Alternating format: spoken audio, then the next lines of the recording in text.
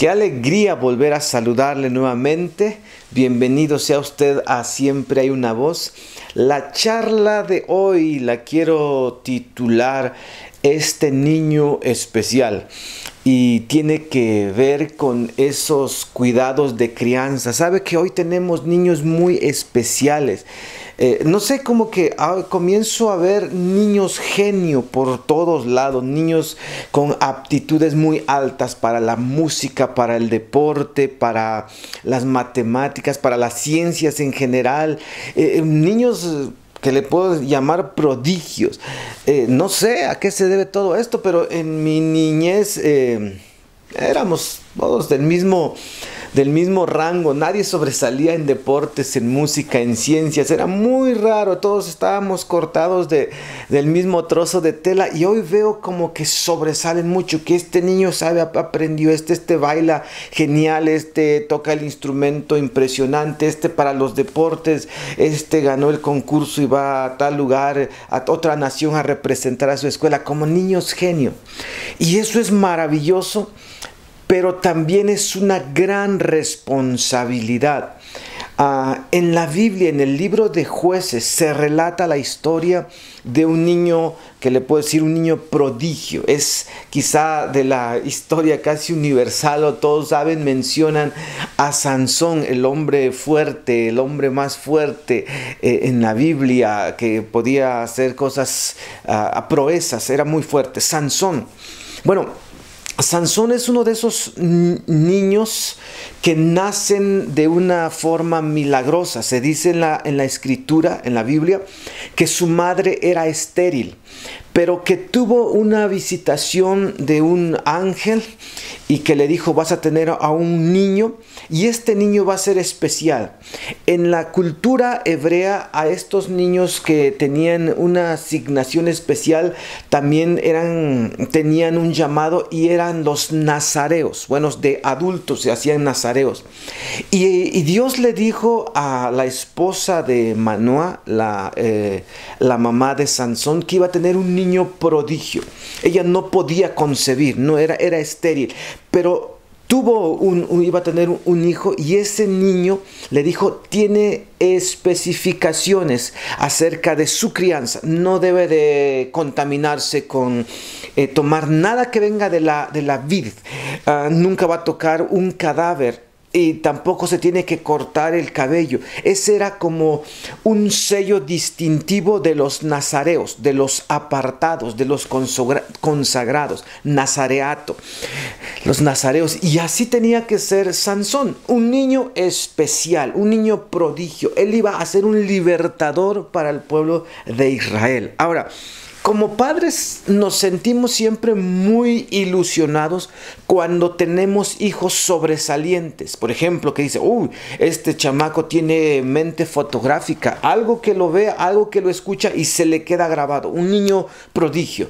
Ah, ah este niño, si vieras cómo es para las matemáticas, las resuelve instantáneamente. No, este niño tiene dotes de liderazgo, es genial. Y nos sentimos muy ilusionados cuando uno de nuestros hijos trae la torta grande bajo el brazo, que es un prodigio.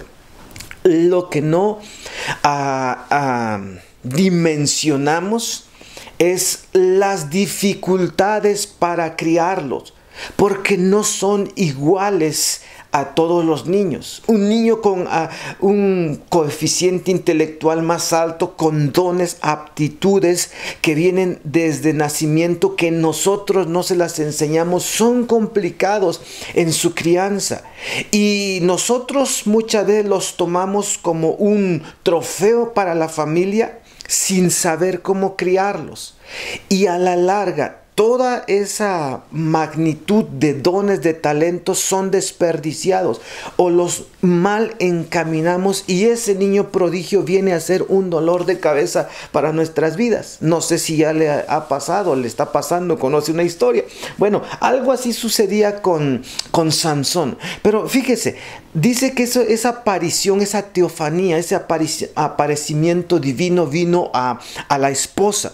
Ella estaba haciendo su labor. El hombre, Manoa, regresa y le dice, mira, me sucedió así. Y entonces el padre hace una oración. Jueces 13:8 dice, entonces oró Manoa a Jehová y dijo, ah, Señor mío, oh Dios mío, yo te ruego que aquel varón de Dios que enviaste, el ángel que había sido aparecido a su esposa, dice, vuelva ahora a venir a nosotros y nos enseñe lo que hemos de hacer con el niño que va a nacer. ¿Qué vamos a hacer? ¿Cómo lo vamos a criar? Que venga el ángel y nos vuelva a decir las especificaciones. Mi esposa dice que va a ser nazareo, pero yo no estoy seguro, así que venga.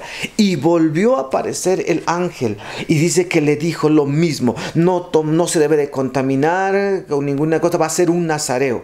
Ah, usted puede buscar en una enciclopedia ahí qué cosa era un nazareo, nazareo con Z, no, no nazareno Jesús era de, Nazaret, eh, no, Nazareo. Y usted va a ver las especificaciones. Dice, no beberá vino ni sidra, no se cortará el cabello, no tocará cosas inmundas. Y, tenía especificaciones. Ahora, esto es bien importante cuando tenemos niños prodigio. Necesitan una atención especial. Necesitan una crianza especial. Ahora, Sansón iba a ser un caudillo, un libertador. Pero algo especial en estos hombres Ah, de los, la temporada de los jueces es que tenían una guianza especial de Dios o la unción del Espíritu Santo. Eran personas con características sobresalientes. Para Sansón fue la fuerza. Entonces, sus padres eran unos hombres temerosos, piadosos, temerosos de Dios y que estaban ah, ocupados en la crianza de sus hijos. Si usted tiene un niño prodigio, posiblemente que es muy hábil en las artes, eh, a lo mejor en la música, y que tiene esa creatividad. ¿Cómo lo está criando usted? No es igual a cualquier niño que va en la media de todos, ¿no? Que va aprendiendo a su paso y que le tiene uno que dar un una regañada para que haga la tarea. Este prodigio lo hace rápidamente. ¿Cómo lo está criando? Porque supera a sus otros hermanos.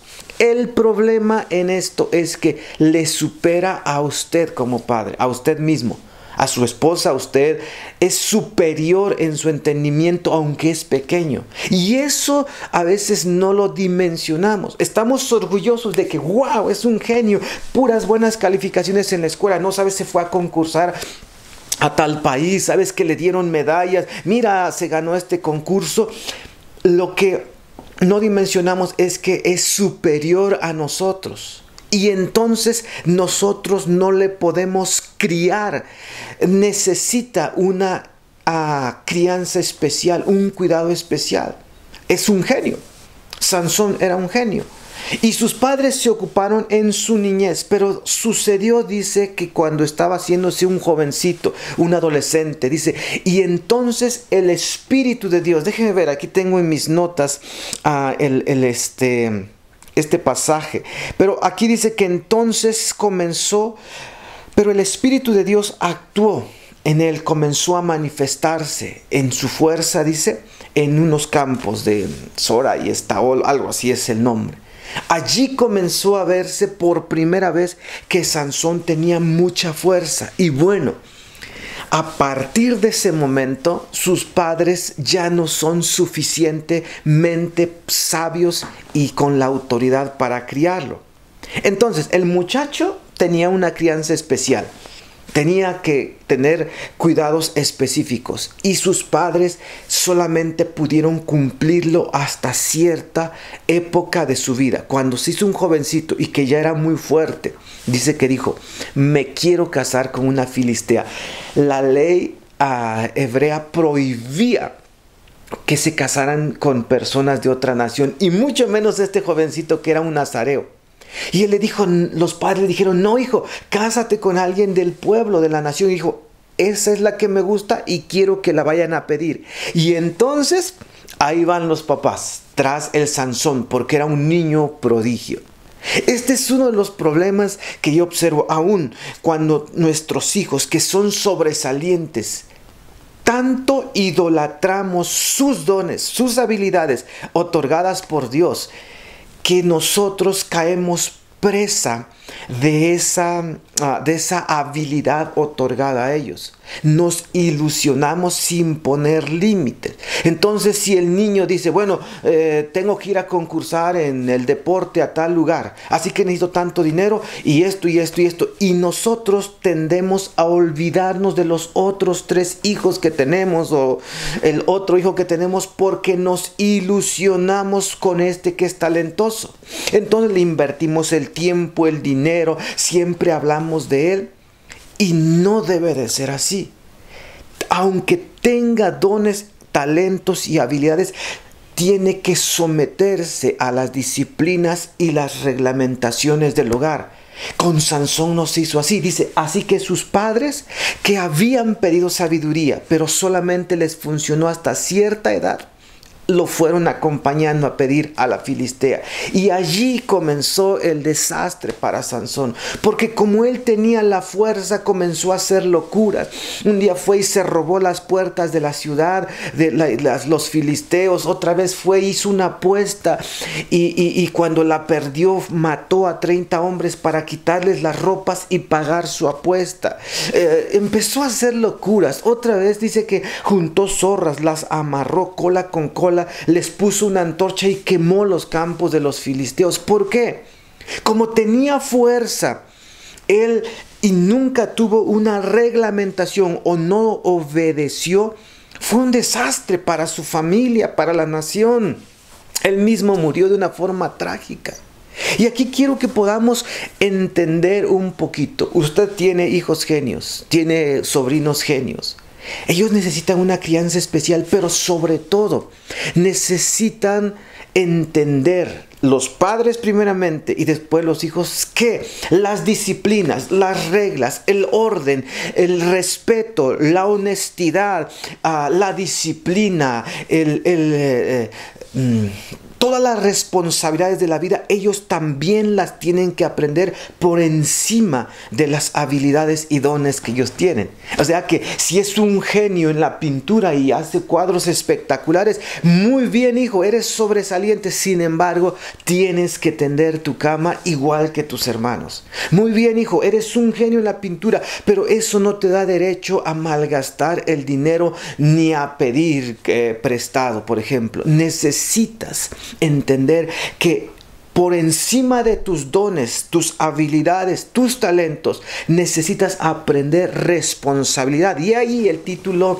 de esta charla, eh, eh, cómo criar a este niño especial, este niño especial, este niño prodigio. Así que esto nos va a ayudar. Hay un ejemplo en Sansón y usted como padre necesita buscar la sabiduría que el Espíritu de Dios le puede traer. Usted, mire, el libro de Proverbios en la Biblia, un libro, libro sapiencial que tiene muchos poemas de sabiduría, usted lo tendrá que leer y entender que ese niño prodigio necesita también aprender disciplina, necesita aprender respeto, necesita también corrección, instrucción y también reprensión cuando sea necesario. Esto va a traer un balance. Dice que de Sansón se, fue, se motió después con una prostituta, después se fue con otra filistea y al final esa mujer dice que lo agobió tanto preguntándole de dónde venía la fuente de su fuerza hasta que él tuvo que decir, mira, nunca me han cortado el cabello, soy nazareo. Allí reside el secreto de mi fuerza. Y esta mujer lo engañó, lo durmió, le cortó el cabello. Y dice la historia que al final vinieron los filisteos y le sacaron los ojos y lo hicieron un esclavo en el molino. Y ahí era una, el centro de su burla, de su mofa. ¿Por qué terminó un hombre, un genio, en un lugar tan deprimente? A causa de que sus padres y posiblemente sus familias no pudieron instruirlo, guiarlo correctamente en las responsabilidades de la vida.